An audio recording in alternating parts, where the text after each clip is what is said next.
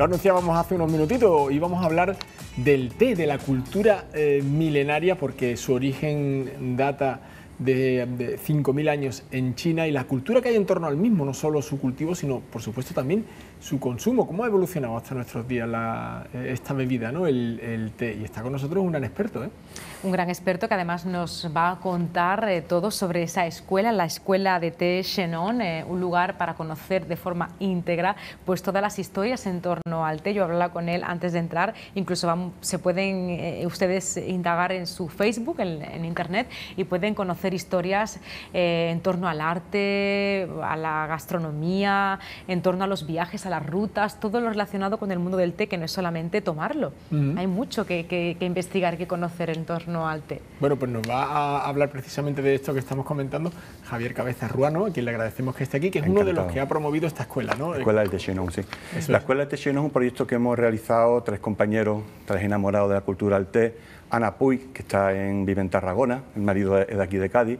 Antonio Egea, que es de Madrid, pero lo tenemos en Taiwán y yo, Javier Cabeza, aquí eh, en Cádiz. Entonces decidimos, llevamos ya unos años en el mundo del té, yo tuve un negocio aquí, mi maté, pero ya lo cerré, Ana y Antonio siguen con ello, y nos dimos cuenta que el té es la segunda bebida más consumida del mundo, pero también la más desconocida, ¿no? porque que té queremos potenciar que llegue a todo el mundo qué es el buen té, qué es la historia del té, y sobre todo eso, que tenemos que saber qué es el té y qué, y qué estamos tomando y qué debemos tomar. Bueno, pues fíjate, nos, nos, da pie a que te hagamos la primera de esas cuestiones, ¿no? ¿Qué es el té? ¿Qué estamos tomando? Bueno, mira, el té es una, es una bebida que procede, tiene más de 5.000 años de historia. Su origen está en el sudoeste, en el, en el de, de China y precisamente nuestra escuela le hemos llamado Chenón, si queréis muy rápido os cuento, hay una leyenda del emperador Chenón, que un emperador que fue, fue un emperador chino sobre 2750 a.C., fue muy pro, se considera el padre de la agricultura y de la medicina tradicional china en, en este país, era muy, muy, muy, estudioso de las plantas, probaba en su propio organismo los efectos de, de la... Y también, que es importante a la hora de saber la leyenda, eh, siendo consciente de las enfermedades que producía el agua contaminada, el agua, el agua estancada, ordenó que se hirviera antes de, antes de consumirla. Entonces, uno de sus viajes por el sur de China paró a descansar a la sombra de un arbusto, tomó agua de un arroyo, procedió a hervirla. En un momento dado se levantó aire y cayeron unas hojas verdes brillantes. Él observó que el agua se, se transformaba en, en, un en licor como entre marrón y dorado y como era su costumbre la probó y vio que, era, que tenía muy buen sabor y que era reconfortante. ¿no? Dicen que el té había nacido. No sabemos si eso ocurrió de verdad, lo que sí se sabe es que el té es una de las principales plantas de la medicina tradicional china, que sirve de antídoto para muchas plantas venenosas y que es la segunda bebida más consumida del mundo. ¿Qué es el té? Pues el té procede de una planta, la planta que se estuvo, le dio sombra al emperador Chenón, bueno, y y por eso ese nombre lo cogimos, lo cogimos nosotros para nuestra escuela. Quiero hacer este paréntesis. Es, es, un poco poético, ¿no? Eso sí, que sí, cuentas, sí, ¿no, sí, sí, sí, claro, claro. Tiene, es que el té, la historia del té tiene mucho. A mí, a mí me, me, me llega mucho. Es una historia, pues, de hecho, poética, una leyenda. Sí. Y entonces el logotipo de nuestra escuela recoge un cuenco al momento en que las hojas entran. Mm. Entonces, Oye, por cierto, perdona, ¿eh? no, sí, sí, quiero, sí, no. no quiero interrumpir. Ahora sí que, que nos, tenemos ahí delante, que no sé si lo han visto, una serie de... de Sí. No es atrezo, ¿eh? no, esto no es, esto es real y no, ahora nos lo vas a contar sí. lo que representa cada cosa, pero lo primero, eh, ¿Qué hablabas del origen del té. Sí, mira, el té procede de una planta con, llamada Camellia sinensis. Todos los tés proceden de una sola planta, que es un dato que suele sorprender porque hay distintos tipos de té y muchas veces se piensa que cada té viene de una planta distinta. No, todos vienen de una sola planta, la Camellia sinensis, que según cómo sea el proceso que se le dé en la fábrica, da como resultado uno de los seis tipos de té, de té existentes. Seis tipos. Y, sí. y, muchas veces pensamos que hay muchos tipos de té. Compramos las bolsitas que tú bien decías que eso no es el té realmente. Claro, y no, eh, gira, no, es la cultura del té. Sí, y sí. tenemos que, a los que nos gusta el té, bueno, que menos que saberlo, ¿no? Sí, eh, vamos, una cosa muy importante a la hora de, de tomar el té es que tenemos que tomar buen té. El té nos proporciona, tiene unas propiedades muy beneficiosas para nuestra salud, nos proporciona eh, polifenoles, nos proporciona vitaminas, sales, eh, eh, catequina, antioxidantes, etcétera, etcétera. Pero claro, esos componentes los tienen mm, los brotes y las primeras hojas de la planta, que con lo que, lo que se cosecha se hace el té más de calidad, vamos a llamar. Entonces, por eso es tan importante comprar té de calidad. El té con la, hebra, porque la, hierba que compramos cuando el té, lo que se conoce como hebra. ¿Qué pasa? Cuando consumimos estos té de bolsita que vienen muy triturados, normalmente se hacen con las hojas más viejas. Vamos a decir, por ejemplo, en el té verde. El té verde nos proporciona muchos antioxidantes. Entonces, se suelen hacer con las hojas más viejas. Las hojas más viejas, ¿qué pasa? Que ya han perdido parte de los, los catequinas, de las vitaminas, conservan mejor mucho flúor. Entonces, estamos adquiriendo un producto que pensamos que nos va a dar unas propiedades que en verdad no, que en verdad no nos va a dar. Luego, el té muy importante es comprarlo en hebra, luego también es muy importante conservarlo, como lo hacemos, es que hay mucho, mucho detrás de la, de la preparación del té, ¿no? Eso que tienes ahí es eh, la preparación china, ¿no? Sí, eh, vamos, eh, nosotros cuando preparamos el té lo, solemos hacer, mm, o bien ponemos en una bolsita o en una tetera, echamos una, una tetera, unos dos gramos, tres gramos de la taza, por ejemplo, hacemos dos, tres, cuatro minutos y lo retiramos. En China es otra manera, en China este se llama Guy One, se suele hacer, y este concretamente el equipo con el que yo trabajo cuando me pongo a estudiar, como tomo mi té. Allí que se hace, se echa unos 5 gramos, ¿vale? Se echa el agua, el agua caliente, se suele, el hacer una primera vez que se echa, se suele echar, el, agua se, se, echa en la mesa, ¿por qué? Porque la primera vez que echamos el agua lo que buscamos es que la hoja se abra para la segunda ya nos proporcione todos los componentes que buscamos. Y luego ya hacemos una infusión de 20 segundos no de dos minutos, 20 segundos, los 20 segundos, y quiero hacer una segunda vez, quiero hacer una tercera vez, hay algunos té que yo me lo hago hasta 8 y 10 veces. Y este amigo se llama Fu y es una mascota del té. ¿Por qué? Porque la cultura china dice que no se debe tomar nunca té soledad. Ah, yo puedo tomar té en soledad y me puedo servir para, para meditar y para estar tranquilo, pero siempre tengo que compartir con alguien. En este caso que yo lo comparto con, con Fu. Entonces siempre parte de este té lo voy a echar, lo voy a, echar a, él. Y en este caso es Fu, que lleva ya unos años, unos años, unos años conmigo. ¿Y la tablita has dicho que era para echarle la sí, primera, Sí, la, la, mesa es de bambú y tiene como un pequeño depósito. Ah, ¿Por qué? Porque cuando vamos lavando la hoja de té, ese agua hay que, hay que echarla. Y cuando nuestro, cuando nuestro amigo Fu también el agua pues va para abajo. y el paño que se utiliza también para la...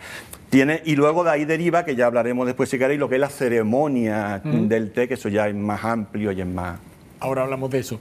Eh, ¿Crees que en Cádiz somos consumidores de té, Javier, o el café lo tiene copado prácticamente todo? en general en España el café se toma mucho más que el té. En Cádiz yo he tenido la experiencia de abrir un negocio y cerrarlo, ¿no? Entonces se consume té, se consume té. El problema es que té se consume, que no se suele consumir el té de, el té de, el té de calidad. Pero yo veo también que aquí hay mucho que falta información, que por eso hemos querido crear la escuela. Estamos trabajando ahora a nivel de, de Facebook, de la página web, que la está haciendo nuestro compañero Antonio en Taiwán, porque yo para las redes soy un poquito desastre. Entonces queremos, hemos preparado unos talleres y queremos trabajarlo a nivel de asociaciones de vecinos, de centros culturales, que la población conozca lo que es el té, el verdadero. Entonces, muchas veces un té que pensamos, es que es muy caro, ojo, no es muy caro si ves luego el trabajo que hay detrás y los beneficios que nos va a dar. El té cada vez se consume más, en Cádiz se toma té. El problema es que queremos promocionar el que se sepa, porque muchas veces la culpa es de que no se transmite verdaderamente. Yo eh, cuando tenía mi mate tuve una clientela muy buena, lo que pasa que el negocio es el negocio y cuando las cuentas no salen, no salen, pero yo verdad que yo tengo, sigo teniendo mucho contacto con clientes que, que, sí, que, sabe, pero eso, vuelvo a repetir, el problema no es que se que eso tome más o menos té, es que se informe y que se conozca qué es lo que tenemos que tomar. ¿no? En esta escuela que habéis creado, imagino que haréis actividades tipo cata, cata de té o estamos, ¿cómo, ¿cómo, es eso? Bueno, la cata, la cata del té, ya estamos hablando de la, la, cata técnica que se llama, es, una, es un estudio del té en una experiencia sensorial se llama, porque participan los cinco sentidos. Ya una cosa más, algo más profesional, si lo hacemos más profundo, también hay catas más, más sencillas. y talleres, ¿eh? Talleres, talleres, sí. Ese taller estamos, ese es nuestro primer, ese es nuestro primer, eh, nuestro primer taller que, que, si quiere, ah, mm, mm, si quiere entramos un poquito en el, tema del taller. En ese taller es precisamente el primero. En, en mayo estuvimos en un festival nacional de té que se hizo en Madrid, el Real, y lo presentamos y gustó mucho la idea, ¿no? Este es un, este es un, un, taller, un taller que vamos para descubrir los seis tipos de té existentes y suele sorprender mucho, porque le presentamos de una manera bastante amena, bastante divertida. Y esto es lo que queremos trabajar, ¿no? Y esto ya es la, ceremonia china del té o el Gongfu, Gongfu Cha. Gongfu Cha significa preparar el té con habilidad, con cariño, con respeto. Y esta es una ceremonia en que existe una comunicación entre el anfitrión, eh, y, los asistentes, ¿no? Una ceremonia que se hace en, se hace en silencio, acompañado de, con música de fondo, y en la que también participan los cinco sentidos. En la cata técnica es una cosa más, su padre lo dice, técnica, y esta es una cosa más espiritual, como antes hemos hablado, ¿no? Mm. Porque existe, hay quien le dice, bueno, una conexión espiritual, una conexión energética, lo que tú, como lo queramos definir cada uno, pero es una preparación a conciencia, con unos pasos concretos, con un significado muy bonito y luego eh, probar ese té. Eso sí, son unos cuencos pequeñitos y los vamos, pero... ¿Y, los van oliendo? son, primero se huele, se huele, luego se prueba y es sobre todo descubrirlo, tanto lo que el olfato como muy espiritual. Muy espiritual. Muy, vamos a ver, el té tiene un enfoque, sobre todo en la cultura china, muy espiritual. Y si ya hablamos de Japón, entra en relación directa con el budismo zen, ¿no? Ahí se llevan bien, ¿no? En este caso, los chinos y los japoneses. Sí, el tema del, té, eh, el, tema del té parte de China y en Japón se llama, los, fuerte, los monjes budistas quienes lo llevaron de China del Tíbet, a Japón. Luego está la ceremonia, la ceremonia japonesa, que es la que se ha visto mucho en televisión, que es esta que es mucho más protocolaria que la china, que se ve que hacen eh, los trajes japoneses con, los, con los arroz, como que unos cuencos, preparan el matcha, mm. pero por ejemplo la ceremonia japonesa puede durar hasta seis horas. Nosotros hemos buceado por internet, hemos encontrado algunas imágenes, por ejemplo, de, siempre en un tono, ¿no? Muy de, lo que nos estás contando, Espiritual. Es que es eso, es que es eso. Y, es que esas imágenes, por ejemplo, me... Sí, sí, claro. hemos visto unas imágenes también, ahora nos vas a aclarar eh, cuando las veamos, porque bueno, ahí están las hojas eh, de las que nos hablaban, ¿no? Esas hojas que parece que vuelan en el, en el, espacio, en el viento, y como cuenta la leyenda, un día se cuelan en ese cuenco hirviendo de agua. y de Shennon y... el, primer, el primer té.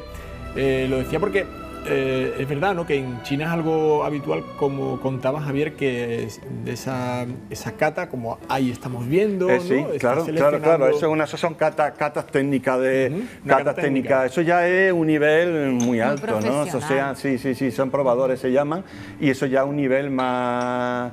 Nosotros en la escuela estamos, esos son las fábricas de té, los distintos procesos, porque como he dicho antes, el té depende, en el momento que entra a la fábrica, los pasos que se den. Mire, esto como resultado un té blanco, un té verde, un, té amarillo, que aquí es muy desconocido. Sí, sí, Hemos encontrado también ¿no? como eh, existe la tradición, esa tradición también de... De enrular, es que esos son los distintos pasos que se hace. El té se cosecha, hay que enrularlo, hay que, hay que oxidarlo. En es un trabajo lento, minucioso. Eh, sí, sobre todo, el, sobre todo, sobre todo la cultura, eh, si nos vamos a los, los té chinos, bueno, y el teulón todo, sí, es un proceso lento y un proceso duro, tampoco vamos a decir que todo sea cuestión como de una película, sino es, un proceso duro también, pero es lento y es, mm, mm, tiene que tener, como digo yo, echarle cariño, si no, no, salen, no salen. Lo, y, lo, y lo impresionante es que de una sola planta salen seis tipos de té, pero es que de cada tipo de té, pues, podemos decir que hay miles de té distintos. Solo, y ojo, estamos hablando de los tés puros los té aromatizados es otra historia. Ay, me gusta siempre decir, eh, lanzar el mensaje de que estaba en mi té, pon un té puro en tu vida. ¿Por qué? Porque hay que descubrirlo, los buenos té puros.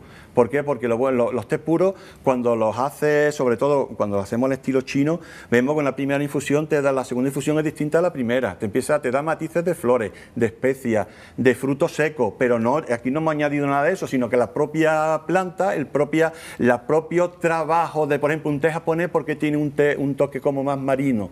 Porque en un momento dado, para que no se oxide, se le hace con vapor de agua como el de las Azores, que es un té que yo quiero reivindicar. El té chino un toque más tostado, ¿por qué? Porque para que no se se hace con calor seco, en una, en una sartén, en wok, lo van dando y eso hace según un ulón, un ulón, el té azul. Tú cuando descubres el proceso de elaboración del té ulón, Dice, madre mía, ¿esto qué es? Y luego digo yo que este té es caro, por favor, si, si esto es, hay que enrularlo una vez y veces que lo hacen hasta 50 y 60 veces. Y luego estar en una fábrica de té como he estado yo en la de las Azores, eso yo ya yo yo me acuerdo que la primera vez que entré me dijo la Magdalena Mota, la dueña, nada más, dice, ¿tú estás, tú estás emocionado? Digo, yo como un niño chico aquí ahora mismo que me ha hecho llorar. Javier, hablamos del té hace 5.000 años, más de 5.000 años, hablamos de la cultura china-japonesa, pero el té también nos viene a la memoria y a la cabeza, pues imágenes eh, a la inglesa, ¿no? El té es... Eh, británico, ¿no? claro, el té de las 5, el té de las 5. El té también. el, té, el té sale de China, pero a salir de China se extiende por el mundo. Hay culturas que giran en torno al torno A mí me gusta mucho desde que estuve yo, bueno, está el Facebook, la Escuela de Chenon, Sommelier Cádiz, que es la mía. Yo trabajo mucho lo que es descubrir historia, leyenda, el té en el arte, porque es que el la té... Literatura, yo he en la, la literatura, poesía, entonces se ha ido introduciendo... La filatelia también. Y, en la, historia, recordemos el Tea Party, ¿no? bueno, la, el, el té tiene sus luces y sus sombras, porque la guerra del opio, esta dos guerras del opio, que significó que, lo, que los británicos a China le diera la grandeza, estaba muy influenciado por el tema del té, porque mm, Gran Bretaña estaba viendo que le tenía que comprar mucho té, pero ellos lo, para China le tenía que llevar mm, plata. Mm, entonces ellos, como dijeron, ¿cómo conseguimos? Vamos a empezar a introducir el opio, el opio. Entonces ya empezaban a pedir opio y llegó un momento ya que China dijo aquí no, la guerra del opio, ¿vale?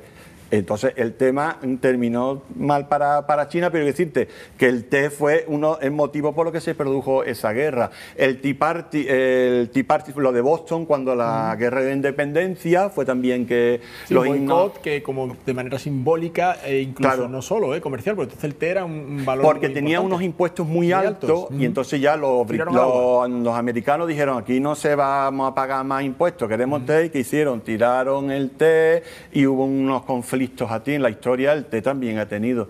Y luego, perdona, lo que comentaba de los. El, británico está lo del té de las cinco, que, es muy, que es muy famoso, que su origen no es la reina, no es la reina, de, no es la reina Victoria, fue la ducosa de Bradford, creo que es que allí había la costumbre de tomar un té a medio, al mediodía, una comida muy suave y hasta la noche no se cenaba.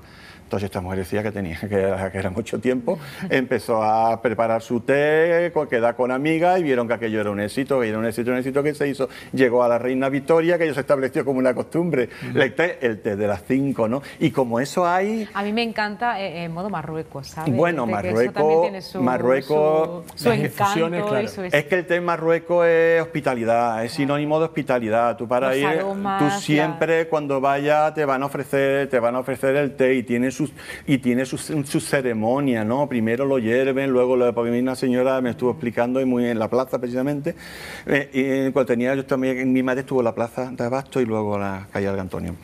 Y entonces me estuvo contando y es que eh, en Marruecos el té es sinónimo de hospitalidad, es sinónimo de compartir. Tú no vas a rechazar nunca un té en Marruecos y cuando llegue te lo van a hacer porque es que es su, no su obligación, es su, su forma, de, su forma de ser, su forma de compartir, sí. Oye Javier, y, eso que ocurre algunas veces, ¿no? que por mm, prescripción facultativa te prohíben el café o te lo limitan, ¿qué pasa con el té? Vamos a ver, el tema del té, ahí hay también un mito de que el té tiene, vamos a ver, la cafeína es un alcaloide que está en la planta del café y está en la planta del té es el mismo. Pasa que en el, café, en el té lo llamamos teína y en el café lo llamamos cafeína. pero es lo mismo. Pero para entendernos, ¿qué ocurre con el té? ¿Por qué decimos que el té, no es que el té verde tiene menos teína que el té negro? La planta como tal tiene lo mismo. Pero hay una serie de factores que influyen para que tú tomes más o tomes menos. Pues sabes que la cafeína, el efecto en el organismo es que te estimula, te, es un excitante. Entonces, por un lado, un té que si se prepara a menos temperatura y durante menos tiempo desprende menos teína, como el té verde, 2 minutos y 80 grados. El té negro, 4 minutos 90 grados. Pero eso no es solo, es que el té tiene otro componente que se llama L-teanina, que es un, vamos, un aminoácido que es curioso porque ¿qué hace? Que contrarresta el efecto de la cafeína. El té verde, por su efecto de fabricación, tiene mucho L-teanina ¿Qué pasa? Que contrarresta, tú estás tomando, estás tomando tu té verde, tu cafeína, pero la L-teanina te lo compensa. El té negro, durante su proceso de fabricación, mm, la L-teanina prácticamente desaparece. ¿Qué ocurre? Que lo tiene. Mira, como para saber lo que es la L-teanina, en los, monjes, en el budismo, se toma el té matcha. O sea, lo conocéis, que es té mm, verde que es molido. Que normalmente el té hacemos la infusión y quitamos las hojas. El té verde se bate y se bebe. Si tú tomas un cuenco de té matcha, es como si estuvieras tomando 10 tés verdes de los otros. Si eso no tuviera la teanina, fíjate la, excitante que sería, y lo toman para meditar. Si no tuviera la L-teanina, no digo meditando, me digo yo, estarían colgados las lámparas del templo porque serían. Entonces, en cambio, hay contrarresta la L-teanina. Por eso hay que tener muy claro siempre que el té tiene teína, tiene cafeína, sobre todo para las personas ¿Se entiende el té sin teína, que también se ha puesto como Vamos a ver, el té sin teína a mí no me gusta, yo nunca lo he aconsejado primero, porque para destinarlo se tiene que utilizar bien productos químicos, que ya entramos en un tema, que a mí por mucho que me diga el, té químico, el producto químico desaparece, o bien con CO2, que es un té muy caro, porque es un proceso carísimo y el resultado no es bueno. Entonces, entonces que yo aconsejo, mm, hay roibos, hay otro tipo de infusiones que son también muy buenas. Otra cosa también que es importante destacar, cuando dicen, es que si hacemos una primera infusión y la tiramos, desaparece la teína. Mentira. Porque como he dicho, se va desprendiendo poco a poco. Si hacemos una pequeña infusión y lo tiramos, hemos tirado, pero a medida que vayamos a que la hagamos la siguiente va a seguir. Y si encima lo hacemos al estilo chino, que es una vez y otra vez y otra vez, Teína tiene, cafeína tiene siempre, tenemos que tenerlo claro. Muy bien, eh, estamos ya eh, agotando un poquito el tiempo, pero no me quiero tampoco eh, ir de, este encuentro contigo, Javier, sin preguntarte, ¿qué opinas del té con leche, con canela? con limón, es decir... Frío. Bueno, mira, ¿no? Son distintas... son distintas vamos a ver, lo que te hemos hablado antes, los té siempre tienen que ser de calidad. Hay unos té que se llaman los blends, té, con, té puer con canela, té, verde con jengibre y manzana, que son otra manera de tomar té. ¿Pero eso está ya mezclado? eso se mezcla, no, no, eso se llama blends o mezcla, que al té verde le añadimos, o al té puer, té rojo, le añadimos, le añadimos la canela, le añadimos el producto que sea. Y eso no es que sea malo. Lo que pasa es que yo siempre invito a que se, además se conozca el té puro, ¿no? Por ejemplo, en, China ese té no se toma. Hay dos casos con jazmín y con crisantemo y prácticamente para de ¿Y en Japón? En Japón se suele tomar el té, no, se suele tomar el, el, matcha, que es que lleva arroz tostado. Pero eso no está. Entonces, ese té eh, vamos a tomarlo, pero siempre viendo que sea de calidad. El té con leche, el té con limón, son maneras de tomarlo. El té frío, muy bueno. Y precisamente vino muy bien ahora para la, la olita de calor que tenemos. El té caliente, la infusión caliente es buena tomarla, viene muy bien en el desierto los tuaregs toman un té caliente, no tienen té con hielo. ¿Por qué? Porque el, té nos sube la temperatura. Eh, abre los poros y hace que mm, eh, refrigera el organismo, vamos a decirlo. Entonces viene bien, ¿qué pasa? Que a todos nos coja pues te algo fresquito. Y yo tomo té frío, y yo me lo hago en casa con este mismo té, o bien lo preparo en caliente y le echo hielo, o, lo, infusión en frío se llama, que dejarlo un tiempo. Ojo, una cosa no debemos olvidar, que cuando tomemos un té frío vamos a tomar las vitaminas, las propiedades, pero hay una propiedad que se pierde, que es la digestiva. El té frío nunca nos va a ayudar. Si después de comer nos tomamos un té frío no va a dificultar la digestión. Si nos lo tomamos calentito nos va a ayudar a hacerla.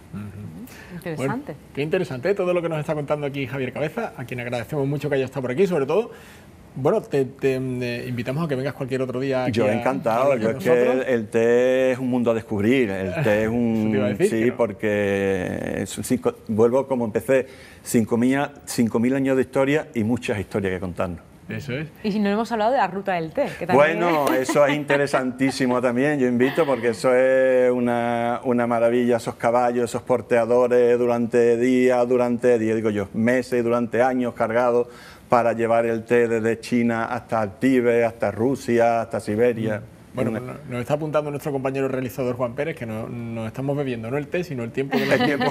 así que nos tenemos que ir.